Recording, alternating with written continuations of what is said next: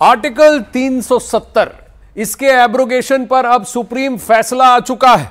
5 अगस्त 2019 को राष्ट्रपति ने आर्टिकल 370 या धारा 370 को रद्द करने का जो फैसला लिया, जिसे संसद ने 370 वोटों से पारित भी किया, उस पर अब सुप्रीम कोर्ट ने मुहर लगा दी है और कह दिया है कि राष्ट्रपति जी का फैसला लिया बिल्कुल सही था और संविधान के दायरे में था। इतना ही नहीं, सुप्रीम कोर्ट ने यह भी साफ़ कर दिया कि लद्दाख को केंद्र शासित राज्य घोषित करने का फैसला भी केंद्र सरकार ने संविधान के तहत ही लिया। इतना ही नहीं, सुप्रीम कोर्ट ने यह भी तय कर दिया कि जम्मू कश्मीर का राज्य दर्जा जल्द ही बहाल किया जाए और सितंबर 30 सितंबर 2024 तक राज्य में चुनाव कराए जाएँ। सुप्रीम कोर्ट ने इस फैसले पर जम्मू कश्मीर, जम्मू में जश्न मनाया जा रहा है और श्रीनगर के लोगों ने खुशी ज़ाहिर की है।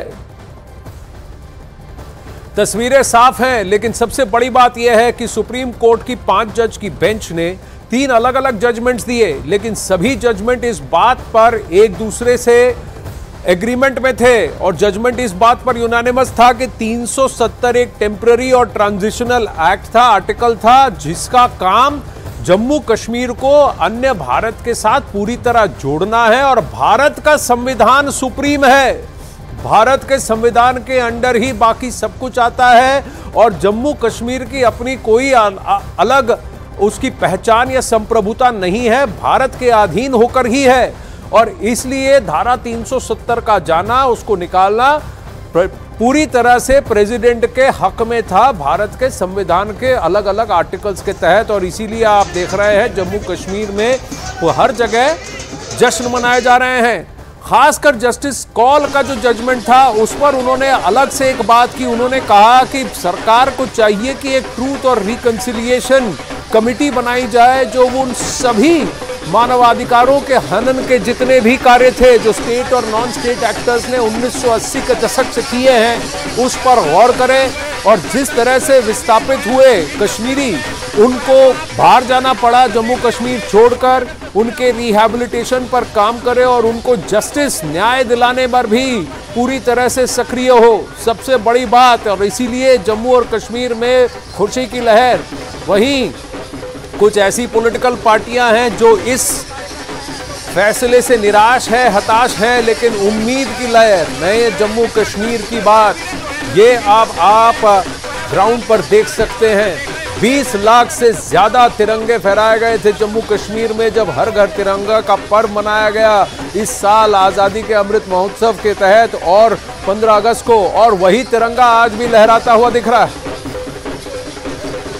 चलिए देखते हैं कि 370 का को हटाने का फैसला सही और इस, फैसले को सही ठहराते हुए जस्टिस डीवाई चंद्रचूड़ के अंतर्गत पाँच जज की कॉन्स्टिट्यूशन बेंच ने क्या कहा? उसमें जस्टिस संजीव खन्ना और justice Sanjay Kishan Kaul justice K Kaul ने। इन्होंने अलग अलग जजमेंट लिखे थे लेकिन जस्टिस चंद्रचूड़ ने जो पढ़ा था उसको जस्टिस गवाई और जस्टिस सूर्यकांत ने अंडरलाइन किया था। यानी तीन जजमेंट थे पाँच जज की बेंच लेकिन सभी यूनानिमस इस बात पर यूनानिमस थे कि 370 को हटाने का फैसला संविधान के तरीके से ही किया गया था। प्रश्न ये था कि जिस तरह से 370 को हटाया गया, क्या वो संवैधानिक तौर पर वैध था या अवैध? उस पर उसकी वैधता उसको सही तरीके से किया गया, इस पर इन्होंने मोहर लगाई। और ये भी कहा कि राष्ट्रपति जी को तीन सौ सड़सठ के आर्टिकल का सहारा लेने की आवश्यकता ही नहीं थी। सुप्रीम कोर्ट ने 5 अगस्त 2019 के फैसले को सही भी ठहराया। साथ ही ये भी कहा, केंद्र के फैसले को संविधान के दायरे में बताया और कहा कि जिस रूट को अपनाया गया उसकी भी आवश्यकता नहीं थी। जेएनके के विलय के साथ उसकी संप्रभुता खत्म हो गई थी। उन्नीस सौ उनचास को जब युवराज ने इंस्ट्रूमेंट ऑफ़ एक्सेशन को साइन किया और प्रोक्लेमेशन किया, तब से उसकी अलग से संप्रभुता खत्म हो गई थी। भारत के अंदर ही भारत के तिरंगे, भारत के संविधान के अंदर ही जेएनके का जम्मू कश्मीर का अस्तित्व है। युद्ध के हालात में 370 एक अंतरिम व्यवस्था थी। टेम्पररी और ट्रांजिशनल और जो जम्मू कश्मीर का अलग से संविधान था, उसका ध्येय यही था कि वो अलग से उसके लिए वो भारत में उसके संपूर्ण विलय के लिए काम करे, उसकी अलग से संप्रभुता बनाए रखे, ऐसा बिल्कुल नहीं था। साथ ही फैसले पर प्रधानमंत्री नरेंद्र मोदी जी ने भी ट्वीट किया और इसे ऐतिहासिक बताया। पीएम ने अपने ट्वीट में कहा कि अनुच्छेद 370 को निरस्त करने पर आज सुप्रीम कोर्ट का फैसला ऐतिहासिक है, हिस्टोरिक है। और उन्होंने कहा कि और 5 अगस्त को भारत की संसद द्वारा दिए गए फैसले को संवैधानिक रूप से बरकरार रखा गया है। ये जम्मू कश्मीर और लद्दाख में हमारी बहनों और भाइयों के लिए आशा, प्रगति का सूचक है। न्यायालय ने अपने गहन ज्ञान से एकता के मूल सार को बनाकर रखा है। और इसको निरस्त करने पर सुप्रीम कोर्ट का फैसला संवैधानिक है। प्रगति और एकता की ओर शानदार घोषणा है। न्यायालय अपने गहन ज्ञान से एकता के मूल को मज़बूत रखा है। मूल सार को मज़बूत रखा है, जिस पर भारतीयों को खुशी हो रही है। और मैं जम्मू कश्मीर और लद्दाख के लोगों को आश्वस्त करना चाहता हूँ कि आपके सपनों को पूरा करने के लिए हमारी प्रतिबद्धता अटूट है। हम ये सुनिश्चित करने के लिए प्रतिबद्ध है कि प्रगति का लाभ न केवल आप तक पहुँचे, बल्कि इसका लाभ हमारे समाज के सबसे कमज़ोर और हाशिए पर रहने वाले लोग वर्गों तक भी पहुँचे, जो अनुच्छेद 370 के कारण पीड़ित थे। आज का फैसला सिर्फ़ कानूनी फैसला नहीं है, ये आशा की किरण है। उज्जवल भविष्य का वादा है और एक मज़बूत और अधिक एकजुट भारत के निर्माण के हमारे सामूहिक संकल्प का प्रमाण है। हैशटैग नया जम्मू कश्मीर। ये प्रधानमंत्री नरेंद्र मोदी ने लिखा है, वहीं गृह मंत्री अमित शाह ने भी ट्वीट किया है और सुप्रीम कोर्ट के फैसले का स्वागत करते हुए कहा है कि 370 हटने के बाद जम्मू कश्मीर में शांति बहाल हुई है। उन्होंने कहा, मैं आर्टिकल 370 को खत्म करने के फैसले को बरकरार रखने वाले भारत के माननीय सर्वोच्च न्यायालय के फैसले का स्वागत करता हूँ। पाँच अगस्त दो हज़ार उन्नीस को प्रधानमंत्री नरेंद्र मोदी जी ने आर्टिकल तीन सौ सत्तर को निरस्त करने का दूरदर्शी निर्णय लिया। तब से जम्मू कश्मीर में शांति और सामान्य स्थिति लौट आई है। कभी हिंसा से जूझ रही घाटी में विकास और विश्वास के में मानव जीवन में नए अर्थ आए हैं। पर्यटन और कृषि क्षेत्रों में भी समृद्धि ने जम्मू, कश्मीर और लद्दाख सब के निवासियों की आय के स्तर को बढ़ा दिया है। आज सुप्रीम कोर्ट के फैसले ने साबित कर दिया है कि आर्टिकल 370 को हटाने का फैसला पूरी तरह से संवैधानिक था।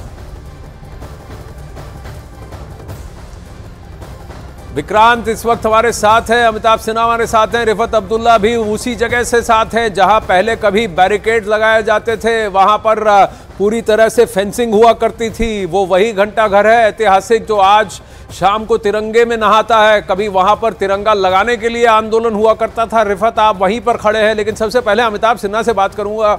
अमिताभ, देखिए एक हिस्ट्री है इतिहास ये है कि श्यामा प्रसाद मुखर्जी ने श्रीनगर में कैद में दम तोड़ा था क्योंकि आंदोलन उनका था। एक देश, एक निशान, एक संविधान। और इसी आंदोलन से जुड़े 370 को हटाने के लिए बतौर एक कार्यकर्ता, अब जो प्रधानमंत्री हैं, उस वक्त राजा आरएसएस के कार्यकर्ता थे, वो वहाँ धरने पर बैठे थे। 1990 के दशक में यहाँ पर आंदोलन चलाए गए थे। इसी धारा 370 को हटाने की मुहिम। और आज सुप्रीम कोर्ट ने कहा कि प्रेसिडेंट कभी भी इसे हटा सकते थे। उनके पास ये पावर्स थे। आनंद सीधा सा है ना, जो सत्तर वर्ष में जो हुआ, उसको उसको सुप्रीम कोर्ट ने माना है कि कॉन्स्टिट्यूशन को बरकरार रखने का कॉन्स्टिट्यूशन से जम्मू कश्मीर को इंटीग्रेट करने का ऐसा कोई काम नहीं हुआ, जिससे वो भारत की मुख्य धारा में आ सके। इसलिए 370 हटाना बिल्कुल सही है, इसको स्थायी करार दिया है सुप्रीम कोर्ट ने। मुझे लगता है अब इफ्स एंड बर्ड्स के सारी चीज़ें, सारी अटकलें अब समाप्त हो चुकी हैं। दूसरा जो सबसे महत्वपूर्ण है, प्रधानमंत्री मोदी ने एक सपना देखा था, संघ का सपना था, आरएसएस का सपना था। जनसंघ का सपना था। बीजेपी के हर मैनिफेस्टो का ये एक एक एजेंडा होता था कि जम्मू कश्मीर से धारा 370 हटाना है। आनंद उसी प्रक्रिया को आगे बढ़ाया गया है। अब जब से 370 हटा है, तीन चार चीज़ें तो साफ़ हो गई हैं। पहला, कि जम्मू कश्मीर में 370 के चलते कई कई जातियों को, कई संप्रदायों को आरक्षण वोटिंग के राइट्स तक नहीं मिलते थे। उनको, इनको वोटिंग राइट्स दिए गए हैं। जिसमें वेस्ट पाकिस्तान से आए आए रेफ्यूजीज थे जिसमें जिस जिस जिसमें जिसमें कई ऐसी जातियाँ जिस ऐसी जातियाँ थी जिनको जिनको जिनको जिनको कोई कोई कोई वोटिंग हम्म। राइट्स नहीं था उनको राइट्स दिए गए हैं दूसरा जम्मू कश्मीर में दो दो या तीन पार्टियों का राज ही चलता था पीडीपी या फिर नेशनल कॉन्फ्रेंस अगर उनको हटा दें तो अब जम्मू कश्मीर में three tier Panchayati Raj system चालू हो गया है। हम्म। वो थ्री टीयर जहाँ पे ब्लॉक डेवलपमेंट काउंसिल के चुनाव हो रहे हैं डिस्ट्रिक्ट डेवलपमेंट काउंसिल के चुनाव हो रहे हैं। नई पीढ़ी पूरी सरकार जो नए नेताओं की है वो सामने आ रही देखिए हो। तो बहुत कुछ रहा ये पहले नहीं हो सकता था क्या पहली बात? दूसरी बात अभी रिफत से बात करते हैं फिर विक्रांत भाई आप सुप्रीम कोर्ट के सामने खड़े हैं। कोर्ट ने क्या कहा उस पर भी मैं आपसे बात करूँगा लेकिन जल्दी से रिफत से पूछ लेते हैं। वही ऐतिहासिक लाल चौक पर आप खड़े हैं, पीछे वो घंटा घर है, वहाँ ऊपर तिरंगा लहरा रहा है। कई बार नब्बे के दशक में 2000 के दशक में वहाँ पर आंदोलन हुआ करते थे तिरंगा फहराने के लिए। रिफत, ग्राउंड पर क्या चल रहा है? देखिए, सब सामान नहीं लग रहा है आपके पीछे तो। हलचल चल रही है, जम्मू कश्मीर के आम निवासी अपने अपनी दिनचर्या में लगे हुए हैं। मंडे का बिज़ी मंडे आफ्टरनून जी।